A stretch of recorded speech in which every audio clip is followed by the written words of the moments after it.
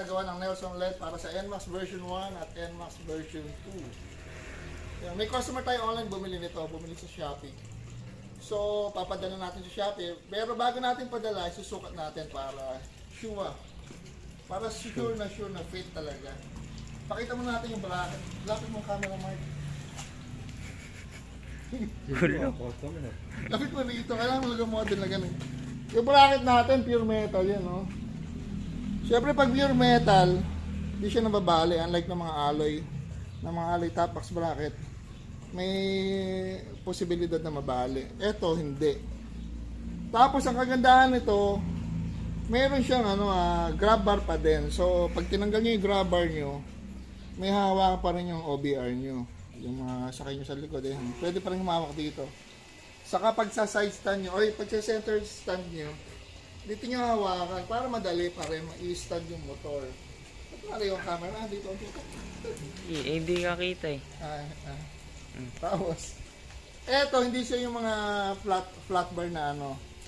Ano to talaga, plate na makapal yan. oh. Makapal yan. Siyempre, ito, makapal din to. Tapos, sa glossy finish siya, pinturado. Ano? Tapos, ang kagandahan pa nito mga suki, ah, binibenta lang ito natin ng 1,500. Di ba, mura? Check niyo yung mga ibang price ng ano, ng mga ganitong item. Yan. Yung mga ganito, hindi sa brand yan, nasa quality ng gawa. Ito, masasabi kong quality naman yan. No? Siyempre, para makita natin kung okay talaga, pwede sa version 1 at version 2. Kakabit namin ni Jojo. Bumati ka muna, Jo. Hi guys. Yan. Kitang kita ko yan ha. Alam nyo, kailangan ko pa magsalamin. Yan. Yan mo sabi lang. Ang technique dito mga suki, kakabit nyo mo yung dalawang bolt sa isang side. Medyo palubogin nyo ng kalahati or 3-4 yung nakalubog. Huwag nyo mo nang higpitan ng wrench. Tapos, ipupush nyo lang yan. Push mo lang te. Yan o, ganyan lang o. Kasi talagang pag ginagawa yan, bakal kasi nag expand Minsan na bumubuka, minsan sumasara.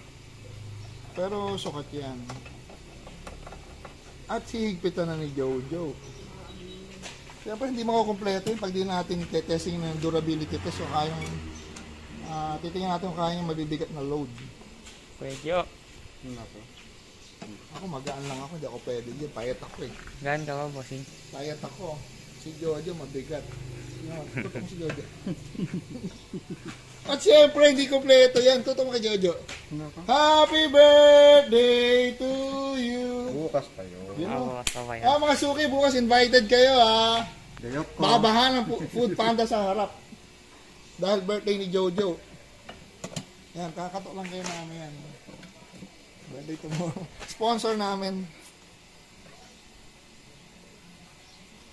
Ayan o, sukat na sukat. Sino magsasabing hindi sukat yan? Pati gitna yan o. Pati likod niya, sentro-sentro. Natin yun, napaka-smoothness. Maganda. Siyempre, tetesting yan ng Jojo. Walang Ito na lang. Ako na lang, ako na lang. Hawakan mo Jordan, motor. Sige natin ha.